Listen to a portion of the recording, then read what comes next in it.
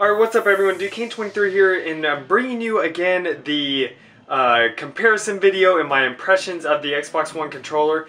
Um, I Earlier I did it, uh, the unboxing and everything, but it was on a black background, uh, which that was not the issue. Yes, it made it a little bit more difficult, uh, at least somewhat, but the main issue was the fact that my camera was set on a like a, uh, a lower light setting to where it lets in less light and everything uh, into the camera lens. Uh, so that really messed up the whole brightness of the film.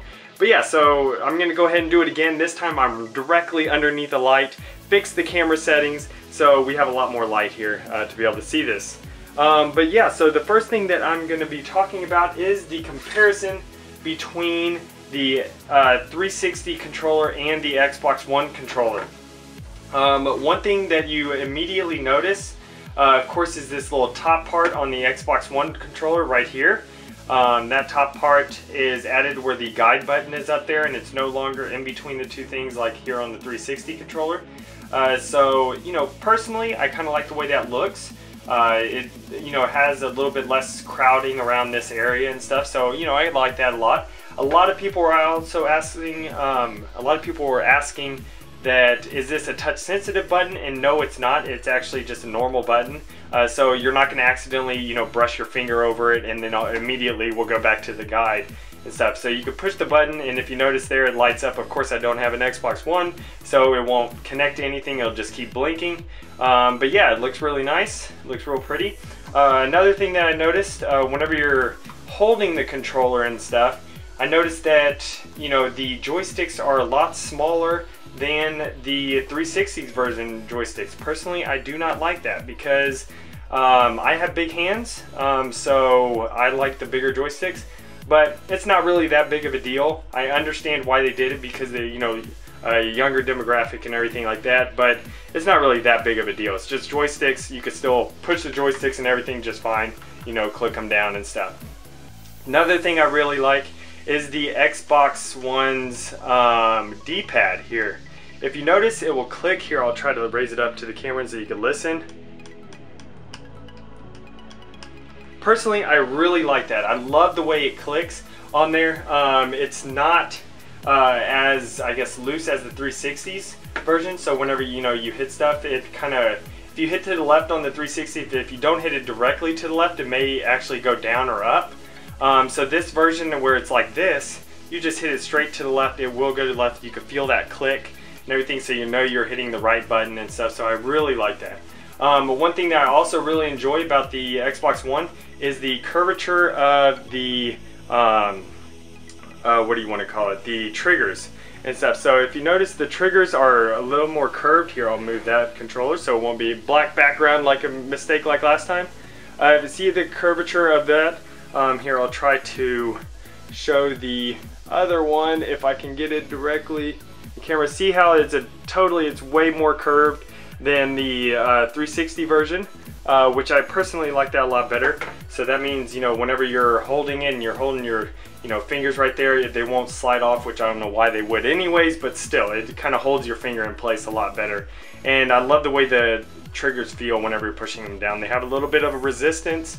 Um, it feels very smooth and of course the triggers on the Xbox One will have the uh, force feedback or whatever you want to call it, the you know rumble feedback feature uh, on there. So whenever you're you know shooting a sniper rifle, um, you know it'll have a different rumble than if you're shooting an assault rifle or something like that. So that's pretty cool. Um, also, of course, guys, the back of the Xbox One controller is totally flat. If you notice right there, completely flat. It is a very nice feature because I love it whenever I'm holding it. Uh, no longer will this get in my way. You know, whenever you're holding it, this gets majorly in your way right there. That big old clunky battery pack thing. Um, so I really like having the smooth. It just feels overall, just feels really good whenever you're holding on to it. Um, it looks really nice here. I'll try to spin around see so you can move your fingers freely right there. Uh, another thing that I did notice about the Xbox One controller is that there are no screw holes and everything. It's completely smooth all the way down the side and stuff. It just has a small little crack right there, uh, which of course they have to have some way of opening it up, but you know, you don't even feel that small little crack whenever you're holding it. uh, but no more screw holes.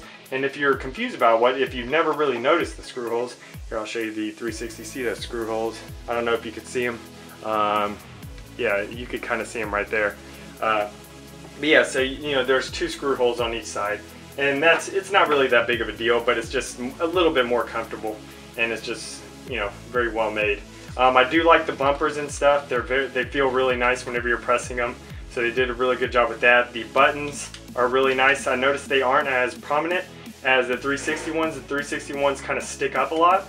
Um, these, they don't stick up a lot. They just, uh, they're fairly just, you know, flat on there. Uh, it has, it sticks up just a little bit, but you know, it feels really nice on there. And of course it has these buttons right here um, dang it, what are they called? I said in the other video, or I mean I put in the other video. One of them is menu, the other one is, I forget what it is.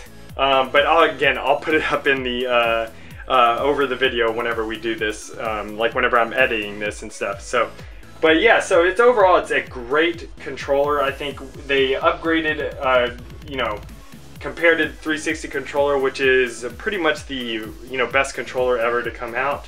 Uh, and this one is much better. Like it feels a lot better. Everything fits in your hands better. The, this part right here of the controller kind of bumps out a little bit more so it fits in your palm whenever you're holding it.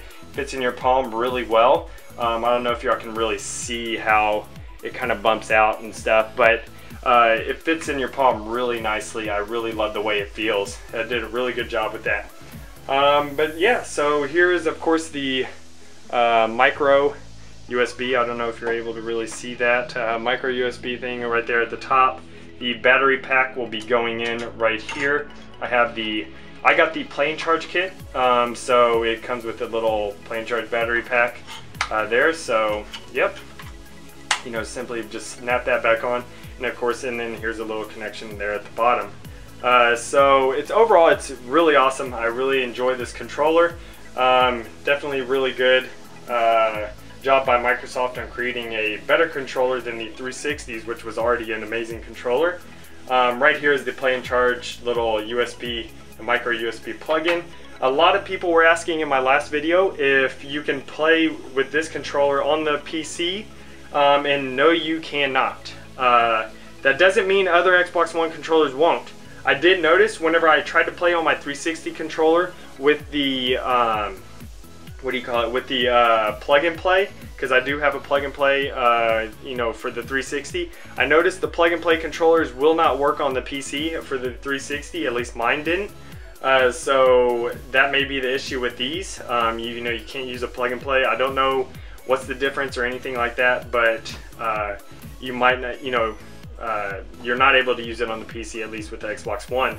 Uh, now with the normal controllers that are wireless and you know or you can just plug them in and stuff with a micro USB and stuff. Those might work on PC I don't really know but uh, we're gonna have to wait. That's one thing I will test whenever I um, you know get my Xbox One and stuff. I will go ahead and test that.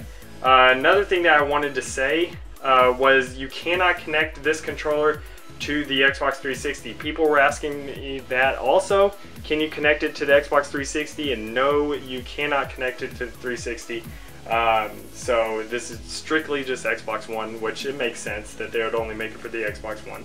Uh, but yeah, so guys, I hope you all enjoyed this video. Um, be sure to leak a like, leak a like. Well, you can leak one too. Um, but leave a like and a favorite, and also subscribe uh, for more content and the Xbox One unboxing and stuff.